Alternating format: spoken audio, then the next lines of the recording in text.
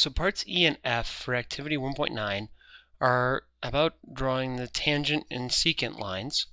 So first off, is just, uh, just as a reminder, we found out the average rate of change between 2030 and 2050 was 9,171. So population is going up by about 9,171 people per year on average between 2030 and 2050.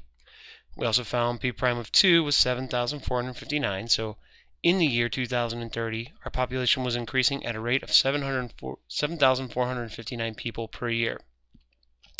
So first thing we're asked is to draw the line connecting for our average rate, representing our average rate of change. So I'm going to come up here from 2 and find my point on my line. And I'm going to do the same thing from 4. I'm just going to use a ruler to make it a, a little bit nicer, a little more accurate. Okay, so when we go to draw our average rate of change, we're going to connect those two points with a secant line. Now our secant line goes on, and if we want to draw it, we can. Right there's the secant line whose slope is our average rate of is our average rate of change. So that's the slope of our secant line. Now the line for our tangent is going to hit at that one point and mimic the slope of our line. So let's see how we can do there. So about right there for our ruler. And right there is our tangent line.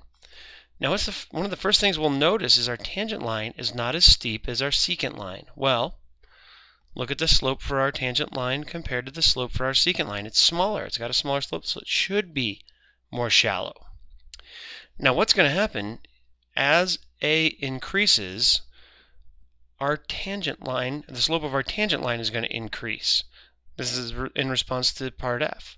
For instance, if we had calculated the derivative at 4 instead of at 2 or in 2050, we would get a line that's even steeper, not only than our tangent line at 2, but steeper than our secant line as well. So we would expect this value to be larger than 9,171.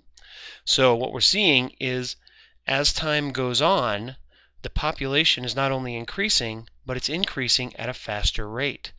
Well, notice our graph is concave up. When a function is when a graph is concave up, that means we have an increasing rate of change. We're seeing it in this problem. Our population is increasing at an increasing rate.